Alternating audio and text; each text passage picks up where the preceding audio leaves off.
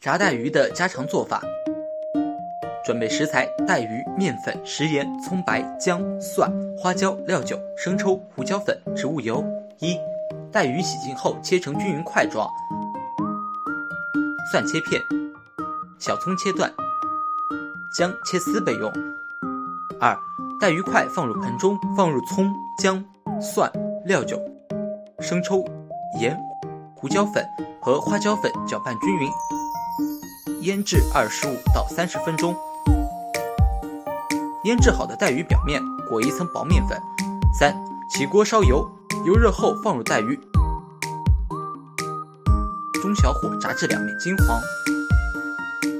四，最后捞出装盘，美味的炸带鱼就做好了。